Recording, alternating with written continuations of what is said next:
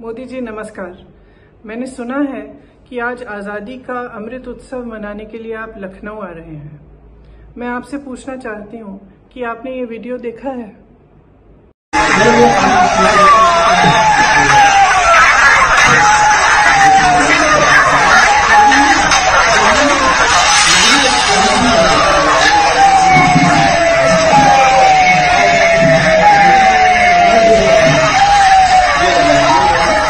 आगे पहिए सब जीते हैं।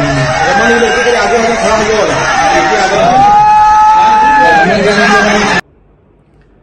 ये वीडियो आपके सरकार के एक मंत्री के बेटे को किसानों को अपनी गाड़ी के नीचे कुचलते हुए दिखाता है।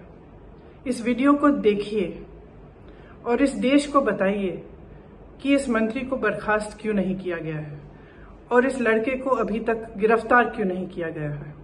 मेरे जैसे विपक्ष के नेताओं को तो आपने हिरासत में बगैर किसी ऑर्डर बगैर एफआईआर के रखा है। मैं जानना चाहती हूँ कि ये आदमी आज़ाद क्यों है?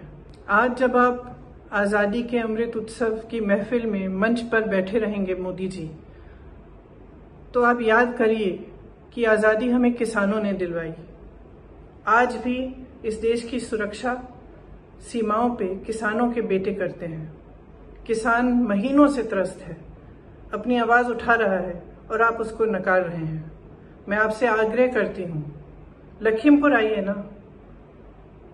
जिन्होंने आज़ादी दिलवाई, जो अन्नदाता है इस देश का, जो आत्मा है इस देश का, उसकी पीड़ा समझिए, सुनिए, इनकी सुरक्षा करना आपका धर्म है।